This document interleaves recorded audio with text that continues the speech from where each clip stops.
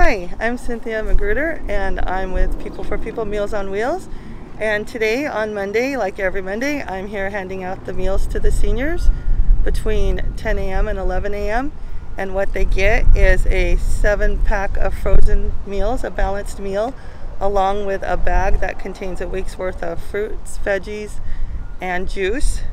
And they can come here and pick them up at the Harmon Center and in order to do that, you have to get signed up. So please definitely call the office, which is 509 426 2601 to get signed up. And behind us, we actually have a couple pulling in to pick up meals right now.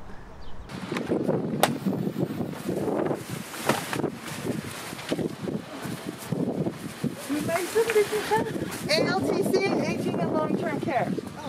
In the trunk? In the back. In the back. Yeah. Does George want to put the window down for me? Thank you.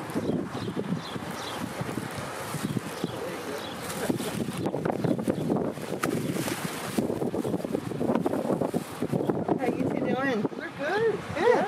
Good. We Okay. are good, yes. Well, you're good to go for the week.